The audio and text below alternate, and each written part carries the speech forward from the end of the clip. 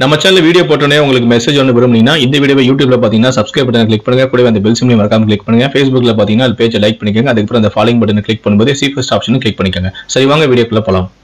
ஓசூர் அருகே மகளை காதலித்து வந்த வாலிபரை திட்டமிட்டு கொலை செய்த தந்தையின் செயலானது பரபரப்பை ஏற்படுத்தி உள்ளது. கிருஷ்ணகிரி மாவட்டம் ஓசூரை அடுத்துள்ள காண்ட்ராப்பள்ளியைச் சேர்ந்தவர்தான் நாராயண செட்டியார் வயது ஐம்பது. இவருக்கு மூன்று மகள்கள் உள்ளனர்.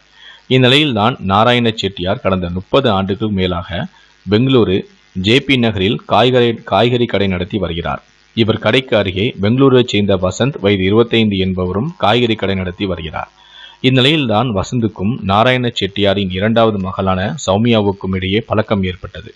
இருவரும் கடந்த மூன்று ஆண்டுகளாகவே காதலித்தும் வந்துள்ளனர். இந்த விவகாரம் நாராயண செட்டியாருக்கு தெரிய வரவே பலமுறை வசந்தை கண்டித்தும் உள்ளார். ஆனால் காதலை கைவிட மனமில்லாமல் வசந்த் சௌமியாவுடன் பேசி வந்ததாகவும் கூறப்படுகிறது. இந்நிலையில் தான் வசந்தை தொடர்பு கொண்ட நாராயண செட்டியார் உனக்கும் என் மகளை திருமணம் செய்து வைக்கிறேன் என கூறி தனது காண்ட்ராப்பள்ளி கிராமத்திற்கு வரவழைத்தார். வசந்தும் அதன்படி அங்கு சென்றார். ஆனால் சௌமியா அங்கு இல்லை. இந்நிலையில்தான் சுதாரித்து கொண்ட வசந்த் தப்பிக்க முயற்சிக்கவே நாராயண செட்டியார் அவரை கட்டியால் கற்களால் அடித்து கொலையும் செய்துள்ளார்.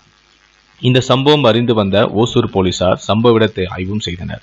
தொடர்ந்து வசந்தின் உடலையும் பிரேத பரிசோதனைக்காக மாவட்ட அரசு மருத்துவமனைக்கு அனுப்பியும் வைத்தனர். விசாரணையில் வசந்தை கொலை செய்தது தெரிய வந்ததும் நாராயண செட்டியாரை போலீசார் கைதும் செய்தனர். இந்த கொலை சம்பவத்தில் வேறு யாரேனும் சம்பந்தப்பட்டுள்ளார்களா என்ற கோணத்திலும் தொடர்ந்து விசாரணை நடந்து வருகிறது.